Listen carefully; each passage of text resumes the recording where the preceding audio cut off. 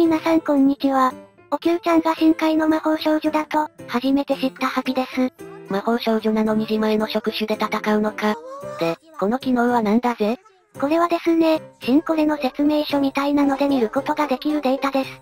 深海生艦はもちろん、カンムスも見ることができます。見ることができるのは、名前、監種、建造書、因子、特殊能力、その他能力か。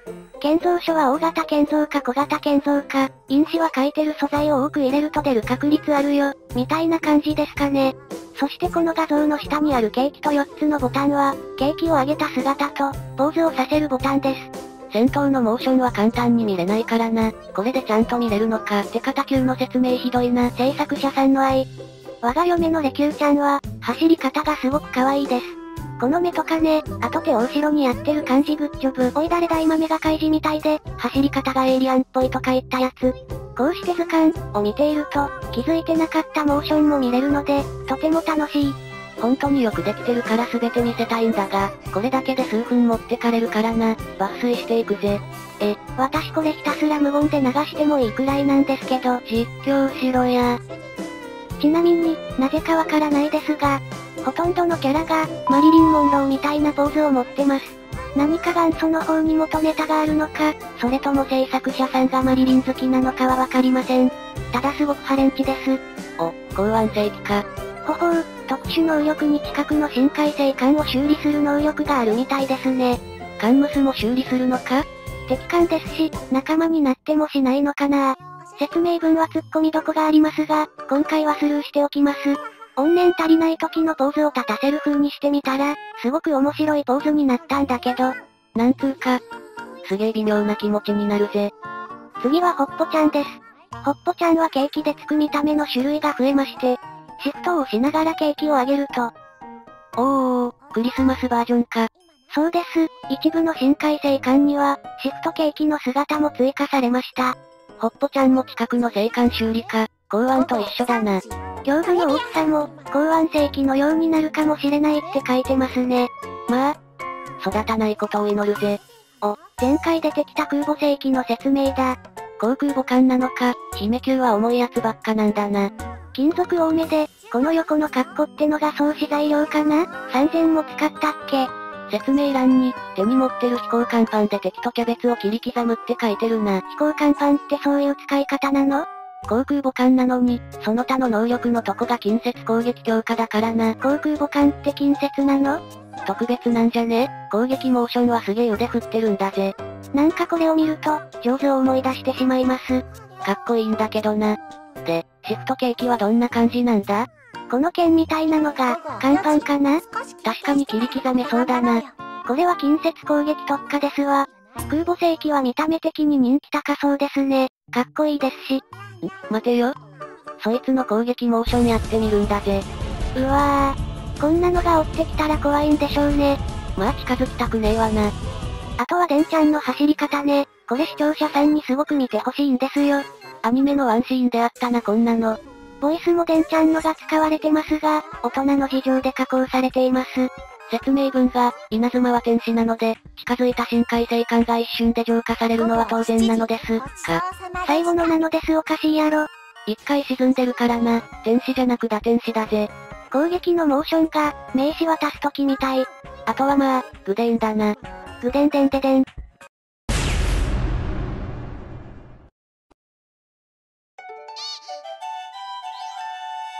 久しぶりの紅葉成分でも出しましょう。急にどうしたんだ？タイトル詐欺回避もあるんですけど、ジェットパックを作ろうと思いまして。ジェットパック？タクティカル装備ですでに飛べてるのにか？それは拠点付近とかだけで、何もない外で飛ぶのは一応禁止してるじゃないですか。まあそうだな。この前はきつぶしで木を切った時に、上にチェストがたくさんあったんですよ。ああ、あの雲スポーンとくっついてるやつな。あのチェストでピッケルの木を手に入れたので、気になるんですよね。確かにな、あのチェストには色々な種類の苗木が入ってたぜ。そうです。それであの虹色に光る木でしたっけ？あれが座標で色が変わるらしいので欲しいんですよね。コメントであったしな、もしかしたら綺麗な虹色になる座標があるかもな。とまあそういうことで、ジェットパックでチェストを取りに行くわけです。素材作成はカットして、グローストーンを下両端に、極薄鉄プレートを4つ、あとはバットボックス、アドバンスドサーキットで、エレクトリックジェットパック、電気で動くジェットパックの完成です。あとは蓄電器で充電して、あ、蓄電器は素材に使いました。いや作れよ。だってバットボックスのレシピややこしいんだもの。お前はどこまでめんどくさがりなんだぜ。さて、ガラスの向こうにサビーニャがいますが、お構いなしに装着します。防御力はやっぱないのか？飛んでる時に撃たれたら死ぬぞ。うーん、この耐久値が25っての、心もとないな1.6の時につけたジェットパックは細かく書いてあったが、1.7じゃ大雑把になったんだぜ。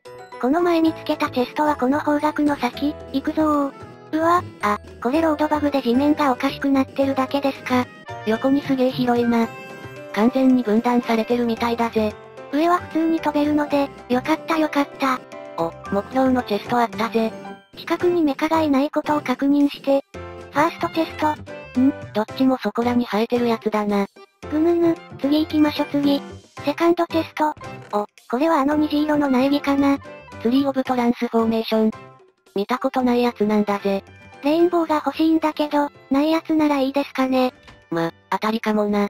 Third chest。なぜさっきから英語なんだ。お、なんかでかそうな苗木。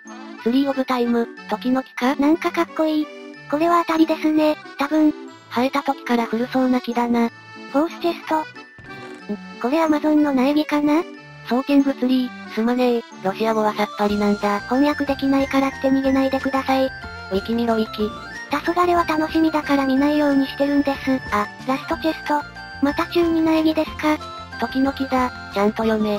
ホタルン欲しいんだけどな入らないからいいや。それじゃまず時の木から。あ、想像よりでかい。お、でも虹色の木に似てないか？少し大きいが。この葉の部分が動いてるのって、ピッケルの木と同じですね。ああ、色合いは茶色と緑か。もしかしたらこれも座標で色が変わるのかもな。むむ。あれは、時計か。なるほど、時の木って時計の木ってことなんですね。ただ木に時計がついてるだけじゃねえかふざけんな。でも秒針の音がしますね。鉱石は根元に鉱石を吸い寄せる効果があったが、これは時間を見るだけみたいだな。まあ、黄昏じゃ時計の役割は意味ないけどな。オンオフできますけど、何もなさげですね。まあこの木は見た目がいいので、伐採せずに置いておきましょう。おし、次の木行こうぜ。次はこのトランスフォーメーション機です。トランスフォーメーションって言ったら、あの鹿を牛に変えるこないらいだぜ。ということは、この木の近くにいたら鹿が牛になったりするんですかね。だとしたら使い道ありそう。早速育てましょ。うお、エンチャントの文字みたいなのが降ってくる。こいつはすごいぜ。普通に綺麗じゃねえか。なんだか雪みたいですね。は。ってことはあれができる。あれ？雪の似合う人とは、まさに私のこと。今すぐ冬のそなたに謝ってこい。マイクラのペヨンジュンって呼ばれそう。呼ばれねえから。でもこんなエフェクトのついた木なんて初めて見ました。この木もなんだか、葉がうねうねしてんな。うーん、色合い的に時の木と合わないですし、移動させたい。まあ時期になれるだろ。むむむ、この木にも何かありますよ。なんだこれ、ハートか？あれじゃないですか？トランスフォームさせたくない時に消せるみたいな。なるほどな。確かに通るモブが全部トランスフォームしたら迷惑だぜ。最後はこれですね。ソーティングツリー、ソーティングは調べたら並べ替えって意味だったぜ。並べ替えの木？私にも意味がわからねえが、とりあえず植えてみようぜ。ここの木は全部大きいので、広めのスペースニット。急に小さくなったなおい。なんか白と黒と灰色の絵があるな。この色合い鳥の糞じゃない？鳥の糞木って名付けよう。とりあえずこの鳥の糞の正体を見てみます。その言い方やめや。サファリネット？マリサ、これサファリネットじゃない？うわ瞬きしやがった。右クリックで閉じることができますね。お前が瞬きさしてんのか。にしてもキモいな。また千年アイテム系のやつか。みんな遊戯王好きなんですね。こっちみんな。ずっと見てると可愛く見えてきません。目つぶしの練習に使えそうだよな。怖ということで、今回は終わりにしたいと思います。おい待て、今回何してた？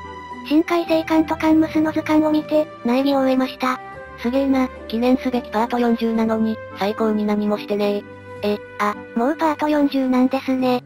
何か色々と、過去にある、って言ったことをやってない気がする。今度からは看板とかに書いときます。ねえマリサ、ここの地面の色何か変わってない？ん黄昏だからな、地面の色くらい変わるだろ。ですよね、黄昏ですもんね。んじゃま、次回は何かします？それでは皆さん、また見てねあ、ホタルンついてる。